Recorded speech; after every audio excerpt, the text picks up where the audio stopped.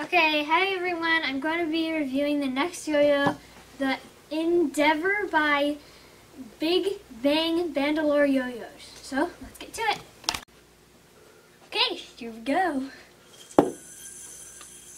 This ring is too long for me, but...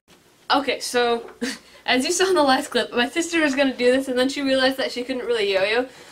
So, I'm just going to do the quick review.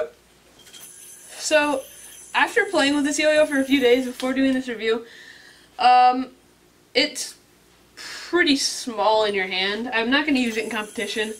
They're just fun yo-yos to have. Grind section, the grind is pretty good, but it only finger grinds for a little bit of time. This is probably a little bit bigger than the Yo-Yo Factory Heist.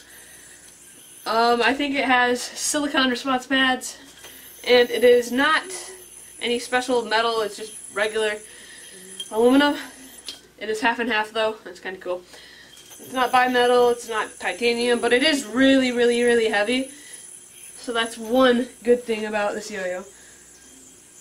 The weight of the yo-yo actually does help it spin longer, because if it didn't spin that long, or if it didn't have as much weight as it actually does have, it would not sleep at all.